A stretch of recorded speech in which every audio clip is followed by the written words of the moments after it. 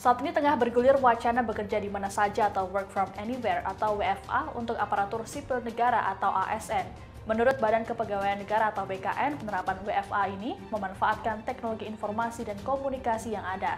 Penerapan WFA ini pun hanya berlaku bagi ASN yang memiliki tugas dan fungsi bersifat administratif dan tak bersinggungan langsung dengan publik. Pengkajian kemungkinan ASN bekerja dari mana saja berdasarkan penerapan pengaturan work from home atau WFH dan work from office atau WFO selama pandemi COVID-19. Hal ini disampaikan oleh Kepala Biro Humas, Hukum dan Kerjasama BKN Satya Pratama seperti dikutip dari kompas.com Kamis 12 Mei.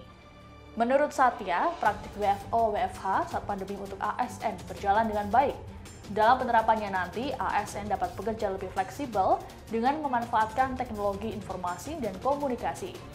Lebih lanjut, Satya menerangkan bahwa penerapan WFA bagi ASN dapat meningkatkan kinerja dan kepuasan kerja. Tidak hanya itu, WFA dinilai dapat meningkatkan efektivitas serta efisiensi birokrasi di pemerintahan.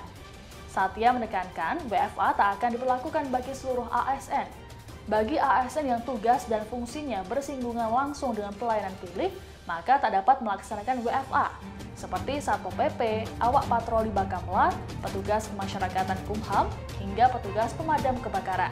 Sebelumnya, Menteri Pendayagunaan Aparatur Negara dan Reformasi Birokrasi atau Menpan RB Cahyo Kumolo mengatakan bahwa penerapan WFH bagi ASN tak akan mengganggu pelayanan hingga layanan pemerintahan. Pernyataan tersebut berkaitan dengan himbauan untuk mudik setelah puncak arus balik menghindari kemacetan.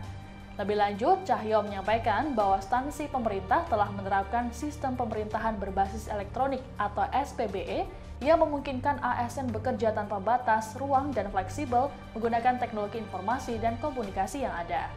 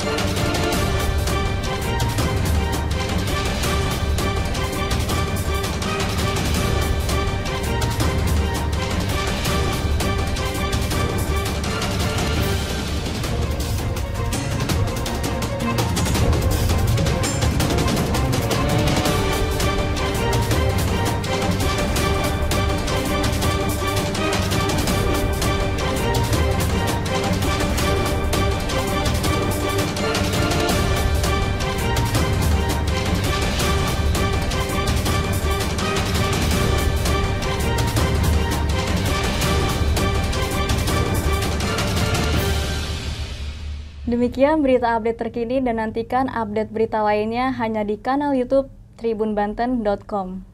Jangan lupa subscribe, like, komen, dan share.